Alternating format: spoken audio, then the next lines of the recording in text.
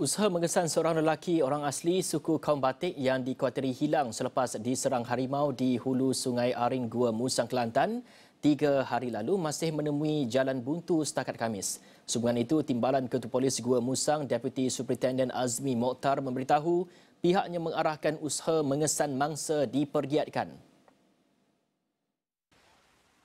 Selain polis, usaha mengesan mangsa turut melibatkan pasukan gerakan am PGA, Jabatan Perlindungan Hidupan Liar dan Taman Negara Perhilitan. Pada hari ini, uh, mereka meneruskan perjalanan untuk ke lokasi di di mana uh, tempat kejadian dijangka uh, perjalanan melibatkan lebih kurang 9 km.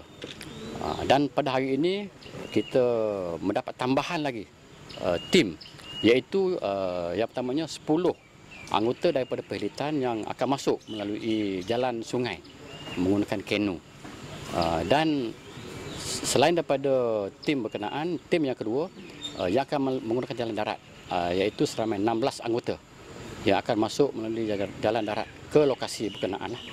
Dan usaha pencarian ini juga kita akan mendapat bantuan daripada Batalion 7 PGA seramai dua seksyen di mana Uh, dijangka mereka akan tiba di tempat uh, uh, PKTK kita petang ni. Mangsa dikenali sebagai Halim dari Lampung Aring 5 dilaporkan diserang harimau ketika memancing di Sungai Aring 5. Bagaimanapun anak saudaranya Alang Kuang berusia 8 tahun dikatakan sempat menyelamatkan diri sebelum terjun dan berenang ke dalam sungai untuk melaporkan kejadian itu kepada datuknya.